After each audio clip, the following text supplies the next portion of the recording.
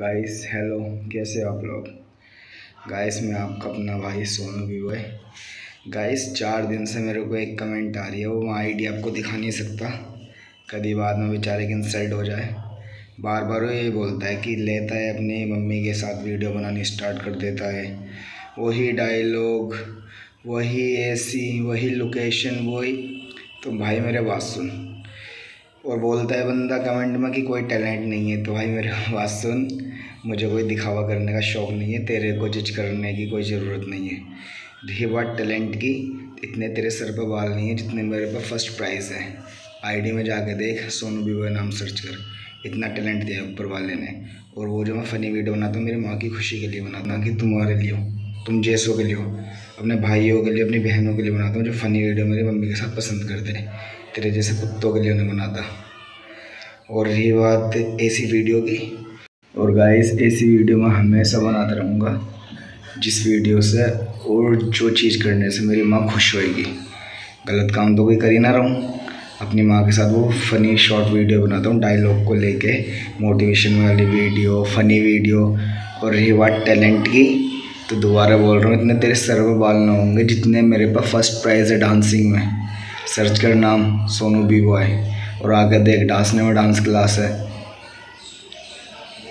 भाई, कभी किसी को छोटा बड़ा नहीं देखते, नहीं कभी किसी को ऐसे जज करते। गलत बात है तुम्हारी।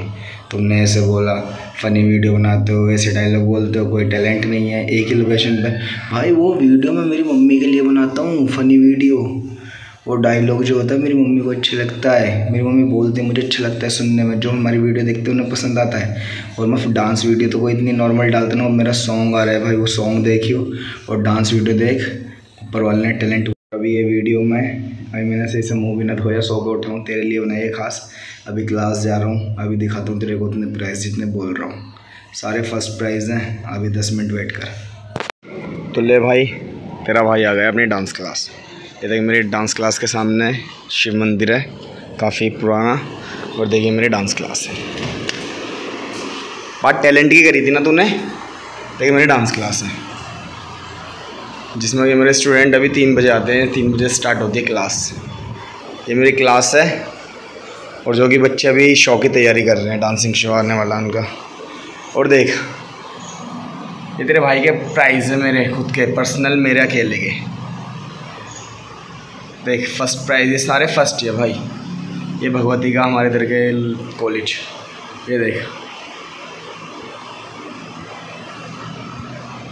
ये फ़र्स्ट है। ये देख। ये देख फ़र्स्ट प्राइज सारे। ये देख ये देख ये देख। ये देख तेरा भाई N C R N star of N C R Uttar Pradesh. इसमें जजमेंट और हाँ तो बात क्या कर रहा था टैलेंट की? तो भाई।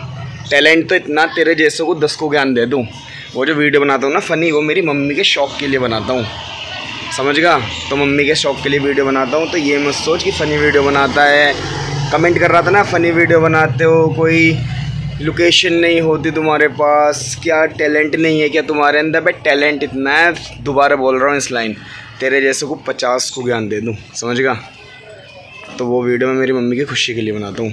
और जिस चीज़ से मेरी मम्मी को खुशी मिलती है करने से, तेरे जैसे पचास ऐसे एडवाइस देते ना तो मुझे चलेगा क्योंकि मेरी मम्मी की खुशी के लिए मैं ये वीडियो बनाता हूँ। समझ गया अब एक काम कर। बिल्कुल प्यार से निकल, तेरे जैसे बहुत कमेंट करते हैं और बहुत आते हैं ऐसे। समझ गया और कहीं मिलना हो पर्सनली तो आज ये डांस में डांस क्लास है, सोनू बीबो के नाम से, किसी से पूछ लियो। लागत जो मेरे पास ही छोड़। तो भाई जितना तेरे भाई ने बोला था, मैंने घर पे कि देख मेरी क्लास में इतने फ़र्स्ट प्राइज़ है, मेरे पास इतनी ट्रॉफ़ी है तो तुझे दिखाई ना तो मेरी सारी है, और वीडियो में जाके देख ले, तेरे भाई की डांस वीडियो भी है। और लाइव परफॉर्मेंस देखना तो आ आजा डांस में मेरी डांस क्लास है। और सुन, तेरे जैसे ऐसे एडवाइसर हो कि अपन को?